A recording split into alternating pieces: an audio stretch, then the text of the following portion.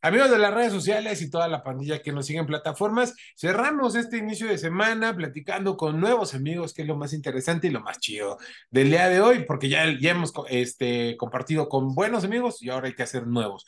Y ya saben que nuestra recomendación es que terminando esta charla, corran a plataformas, disfruten de la música del artista invitado a continuación, la descarguen, pero lo más importante es compartirla. No se queden con la música, porque así hacemos que lleguen más. Lo que está bastante chido de nuestro siguiente artista es que los dos le vamos a los Yankees y ya desde ahí ya me cayó bien. Pero a distancia saludamos al gran Claudio Trejo que nos toma video, videollamada, carnal. Un abrazote desde Cholula, desde Puebla. Gracias por, por, conectarte con nosotros. ¿Cómo estás? Qué gusto saludarte. Muchas gracias aquí por, por el espacio. Ya listos. E, es tu casa, Claudio, y gracias por conectarte. Oye, hermano, a ver, a mí me gusta como iniciar siempre las charlas con lo clásico, pero no tan clásico. Es decir, cómo empieza la escena musical de Claudio, pero no en esa parte, sino más atrás. Es decir, ¿qué sonaba en casa de papá y mamá? ¿Qué sonaba en casa de, de la familia? Porque al final, siempre lo he dicho, nuestra educación musical siempre viene desde casa, ¿no? Es lo primero que mamamos y desde ahí incluso tenemos referencias musicales, ¿no? Tenemos nuestras primeras claro. referencias. ¿Qué sonaba en ese tiempo? ¿Y dónde llega el punto de inflexión de Claudio? Donde algún hermano, algún amigo, algún primo te dio un concierto, te pasó un CD o un vinil, no sé, como decía el caso, y dijiste, esto es lo que quiero hacer en mi vida. Son dos en una, por así decirlo, claro. ¿Cómo empezamos? Sí, me encanta esa pregunta porque siempre yo llego a esa parte de, de, de mi vida para explicar lo que está pasando hoy. Entonces, eh, yo crecí escuchando rock en inglés por algunos miembros de mi familia, mis tíos, mis abuelos, y eso me, me, me, formó. Yo, o sea, así empecé a escuchar música sin todavía saber que quería ser músico. A los eh, nueve años, ocho años, conocí a uno de mis mejores amigos de la infancia, eh, que él era una, una, bestia musical, tocaba todos los instrumentos, era de estos niños eh, prodigios que tenían la facilidad para, para, la música. Y en su casa, uh -huh. pues tenía todos los juguetes que te imagines, ¿no? Baterías, guitarras, bajos, de todo. Entonces, nuestros planes los viernes, eh, bueno, él me enseñó a tocar batería a mí y nuestros planes era ir a su casa, pedir pizzas y, y llamear y sacar canciones de artistas que nos gustaban, ¿no? No sé, Metallica, Green Day, Iron Maiden. Ajá. Eh, creo que todos los que hacemos música empezamos por con esas bandas. Y, y, nada, así fue como empecé yo a meterme a este mundo. Me regalaron mis papás mi primera batería. Yo creo que pensaron que iba a durar poco el, el chiste y, y, nada, pues aquí, aquí seguimos. y nada, me empecé a meter al mundo de la producción, empecé a escribir, em, aprendí a tocar guitarra, piano y después me fui a estudiar música a Berkeley. Estuve en, en Boston cuatro años y bueno, ya es lo que hago todos los días. Eh, tengo un estudio, trabajo como productor y aparte tengo mi proyecto solista que empecé en pandemia, soy proyecto Ajá. de pandemia. Eh, entonces todo ha sido un, un, camino que se ha acomodado solo y que yo solamente he ido como que encontrando las piezas del rompecabezas para irlo armando hasta hoy. Que, que, al final del día este camino se basa en eso, ¿no? En haber pasado como por varias etapas de la industria musical de alguna manera para concretar Totalmente. de alguna manera el sueño, ¿no? Porque al final del día también estas bases que te da el poder producir, el poder ser músico de sesión, el compartir con otros artistas, también te influye y te lleva de esa mano, ¿no? A veces los tiempos no son los mejores, porque esto a lo mejor puede haber salido, lo tendrías planeado hace 10 años, pero el camino hace que el trabajo de alguna manera te lleve sin alejarte de alguna manera de la música. Y eso creo que es el resultado de hoy en día, a pesar de haberlo lanzado en pandemia. Totalmente. O sea, yo me quejo mucho de que fue en pandemia porque no podía tocar y porque Ajá. no podía ver a gente y lo que sea, pero creo que fue una de las mejores herramientas para este proyecto porque tuve todo el tiempo para dedicarle solo a mi proyecto, a perfeccionarlo, a encontrar el sonido que quiero, que hasta hoy puedo decir que lo encontré dos años, tres años después. Y, entonces sí, la pandemia fue una carta fuerte en, mi desarrollo como, artista, ¿no? Es que al final acabas de decir algo bien importante, ¿no? No había trabajo, suena muy feo, sí, pero no estabas como tan comprometido con otros proyectos como para no haberte enfocado en todo esto. Quisiera pensar que incluso lo que ya estamos escuchando de alguna manera como nuevos sencillos fue parte de todo este proceso de canciones que ya tenías y que fuiste armando durante pandemia, si no es que incluso más atrás, pero que pandemia te dio la oportunidad de poder grabar. Exactamente. Yo en pandemia grabé dos EPs que Ajá. ya saqué. Sí. Y, y muchas de las canciones de este nuevo disco en el que estoy trabajando, lo que dices, las escribí incluso antes de la pandemia y la música es muy mágica y las canciones te escogen y saben cuándo tienen que, que salir al, al mundo y, y, por eso están saliendo ahora, porque las volví a encontrar en ese en el cajón de las canciones. Eh, la libreta. Entonces, exactamente. Oye, Clau, por ejemplo, el, ser músico de sesión y, el, y el hacerte productor de alguna manera también, ¿cómo ha sido llevarlo a tu proyecto en ese sentido? ¿A qué me refiero, güey? Tienes la influencia de amigos que de alguna manera también definen de alguna manera eh, tu sonido, la estética que quisieras para darle a tu proyecto, ¿no? Y en la parte de producción, a veces son un cuanto tanto celosos los mismos músicos, ¿no? En el de, no, yo no me produzco mejor que lo haga alguien más, y así tengo dos orejas más, dos oídos más, que me ayudan también a, corregir ciertas cosas. ¿Ha pasado ese proceso contigo en estas dos vertientes, o realmente ha sido todo de alguna manera también con lo que tú has podido trabajar y con lo que tú quieres hacer? No, eh, al principio, en, cuando empecé con mi proyecto, todavía no sabía qué sonido quería. No, no tenía muy claro qué es lo que quería del proyecto de Claudio Trejo. Yo no tenía ni siquiera la intención de sacar un proyecto, te digo que fue una locura de pandemia. Entonces ahí sí me deslindé completamente de la producción, yo fui el artista y mis productores, que son dos eh, amigos muy cercanos, eh, se aventaron toda la talacha y me ayudaron a encontrar un sonido que hoy a mí me, me, gusta y me representa. Pero para el disco que estoy haciendo ahora, que es un disco mucho más orgánico y mucho más eh, clásico, vamos a decir, como que instrumentos reales, no tanta producción nueva, sino guitarras, baterías, bajos, pianos y voz. Eh, me involucré mucho más en el proceso de producción porque me dediqué mucho antes de entrar al estudio en definir cómo quería que sonara cada canción. También lo estoy haciendo con dos de mis mejores amigos, que aparte son mis socios con los que tengo el estudio que te platicaba. Entonces, sí, este disco hubo mucho más, eh, me involucré mucho más en el proceso de producción y fue mucho más divertido. Por, pues sí, cuando ya sale la canción es como yo, yo te hice, ¿no? Eres mi bebé.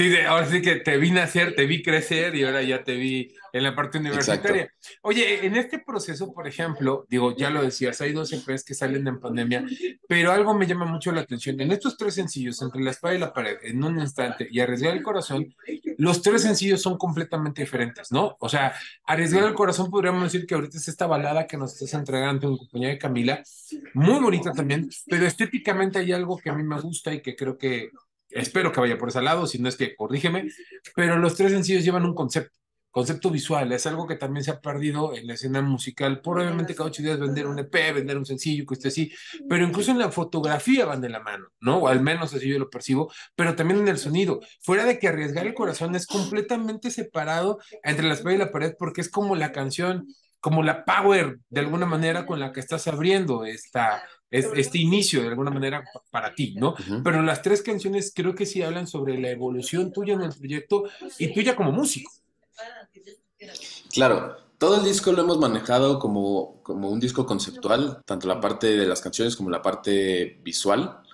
Eh, yo hablando con el equipo y con los, productores y la gente del video, eh, les dije, no quiero hacer otra vez lo mismo de siempre, lo que ya hice, que es sacar un sencillo, un video, sacar un, otro sencillo, otro video y luego sacar un EP en donde nada tiene nada que ver. Quiero hacer algo más significativo, más simbólico. Este disco es una especie de homenaje a, a muchas cosas, ¿no?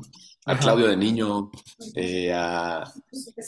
Yo antes de estudiar música estudié comunicación, entonces también a Claudio que le gusta el cine y como que cuidar muchas, muchas cosas que, que, tenía en la cabeza. Todo el disco es un concepto que se basa en un libro de filosofía que se llama Los 12 Estadios del Amor. El disco cuenta con 12 canciones. Cada canción tiene un video y cada canción va a salir como sencillo eh, hasta, que se, hasta que salgan las 12. Y si lo, si lo vemos como si fuera una película, cada canción es, digamos, un capítulo de la película. Película, ajá. Entonces, si tú ves una miniserie. Exactamente. Pero si tú ves eh, los videos en individual, no tienen mucho sentido. Eh, no cuentan una historia como tal, un video. Pero si tú ves todos los videos de todas las canciones del disco, entonces se cuenta la historia completa. Entonces mi intención es como que rescatar otra vez el vamos a escuchar el disco en orden como tiene que ser, vamos a ponerlo de principio a fin, ver todos los videos y que no se pierdan canciones en el proceso, ¿no? No, no, no sé tu caso, no sé tu caso. En el mío, cuando iba a comprar un disco, llegaba a tu casa, me acostaba este, al revés de la cama, subía las, las patitas en la cabecera de la cama, agarraba el book y empezaba a leer las letras, empezaba a ver quién había masterizado, dónde se había producido, dónde se grabó, quién se aventó el arte, porque eso creo que enriquecía nuestra charla musical, ¿estás de acuerdo? O sea, Totalmente. añadía ese sabor que tenía el disco físico y el concepto, porque veías las ilustraciones o veías las fotografías y entendías más el proceso que tenía un músico o una banda para realizar un proceso. Y a mí me encanta que hayas regresado como ese punto y creo que no, no, me equivoqué de alguna manera, solamente escuchando los primeros sencillos. Sí, totalmente, Eso es, esa es la intención. Y lo que dices, los sencillos no tienen mucho que ver el uno con el otro. Uno es una balada, otro es una canción más up-tempo, más feliz. En un instante es otra cosa. Y lo que viene en el disco, el disco se empieza a poner un poco más oscuro. Cada canción habla de amor, pero en diferentes como etapas del amor. Está el amor tóxico, el amor que te lastima, el amor eh, feliz, el amor...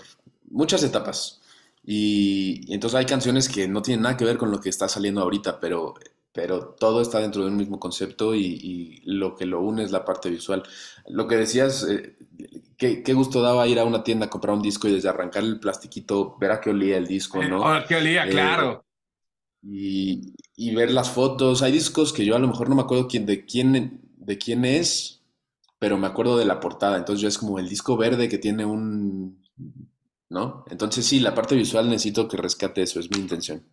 Sí, además que, bueno, al final también es un proceso, y va a ser un proceso largo para ti, ¿no? Porque, digo, la producción de videos, de una manera edición, todavía le están subiendo, correcciones y cosas así, pues digo, al final quisiera pensar que parte del plan del trabajo es que te dé toda la salida, mínimo hasta el inicio del 2024, si no es que un poquito más allá. Sí.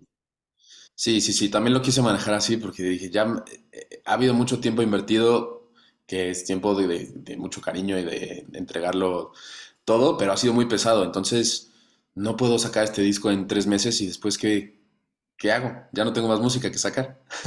Bueno, entonces sí tengo... yo, yo, te diría, de que tienes más música, claro que debes de tener por ahí más música, busca en la libertad por ahí, pero a lo que voy es, de repente era también como, o sea, digo, cómo cambió todo, ¿no? Al final es, yo, yo que estoy un poquito más viejo, sacas el disco, vete de gira, que la gente vaya conociendo las canciones, regresas dos años después y listo, a preparar cosas. Ahora es, espérate a que salga todo el material para a lo mejor planear una gira o planear este, eh, ¿cómo se llama? Eh, eh, presentaciones en medio y ya que la gente coree el disco. Las dos funcionan muy a su manera, o funcionaba una y por algo el concepto cambió. Pero al final del día creo que también es interesante que si empiezas a tener las presentaciones alternas de alguna manera del lanzamiento del disco, saber cómo acomodar las canciones en el set list, ¿no? En vivo, porque también creo que eso es una prueba interesante. Cuando sales, creo que tiene esas dos partes, corrijo. Cuando tienes el material arriba, ya sabrás cómo, cómo funciona, pero cuando lo vas develando, la gente no conoce los temas, entonces, ¿cómo reaccionarán ante el cómo las acomoda en un setlist en vivo, ¿no? Que creo que también tiene su dificultad. Sí, vamos a optar creo que por esa opción. Yo nunca he, tocado en vivo mi música. Ok. Eh, por lo mismo que fui proyecto de pandemia, entonces no hubo chance de, tocar. Ahora que ya se puede, eh, estamos ya preparando shows y, empezando a planificar todo cómo va a ser las versiones en vivo, eh, hablando con los músicos y demás. Eh, mi intención es que con seis canciones afuera, con medio disco afuera, ya puedo hacer una presentación. Y sí, va a pasar eso. en vivo voy a revelar canciones que no han salido. Claro. Y ver la reacción de la gente. Y creo que eso también me va a ayudar a ver, ok, esta canción puede ir después de esta, antes de esta, en el disco. Eh, entonces, sí, pero todo va a ser un experimento, como todo lo que ha sido este proyecto ha sido experimentar y ver qué funciona y qué no. Pero sí, me emociona. Me emociona y me pone nervioso porque en el escenario siempre he estado yo como baterista, como guitarrista, como pianista, pero nunca he sido yo la cara. Entonces, a ver qué pasa. Dicen por ahí, el día que se te quiten los nervios o las emociones, dedícate a otra cosa, ¿no? Ya no seas músico. Cada presentación va a ser así. Oye, me creo, te quiero agradecer muchísimo el tiempo. Yo lo decía al inicio, a lo mejor a la primera oportunidad que tengas ya con con, con, la gira ahí en el pizarrón, pues toma en cuenta Cholula, Puebla, tienes que venir a presentarlo, Totalmente. avísanos para que vengas a radio, toquemos el material, hagamos una pequeña sesión en el estudio. Es, vaya, eh, el cielo es el límite, solamente hay que cuidarnos y eso sí, para mantenernos informados, cómo te encuentra la gente en plataformas y en redes, para checar todo esto, ¿no? Lanzamientos y en cuanto ya empieces a planificar. Quisiera pensar que antes de salir, pues alguna presentación, no sé si, si, si en Ciudad de México o algo así, ¿no? Sí, el primer show seguramente será Ciudad de México para arrancar, pero la intención es ir a pisar todos lados. Puebla, claro que está en el mapa y claro que tienen boletos en primera fila y nos tomamos una cervecita por ahí o algo, lo que sea. Eh, y nada, seguir, seguir promocionando esto. Eh, en redes me pueden encontrar como Claudio Trejo Music, así estoy en todos lados. Y en plataformas y en YouTube como Claudio Trejo. Venga. Ahí pueden encontrar todo el proceso y pues ya está cerrado, Claudio. Tú ya lo decías. Si tú vienes, nosotros ponemos los mezcales, este, las grosellas y las emas, y tú pones el reventón. ¿Jalas? Ya está. Es un hecho. Venga, hermano, pues te mandamos un fuerte abrazo. Esta es tu casa y estamos al pendiente de tu trabajo, hermano. Mucho éxito, que aquí te esperamos con los brazos abiertos, carnal. Muchas gracias otra vez por el, por el tiempo. Qué chido. Es tu casa, abrazo. Igual.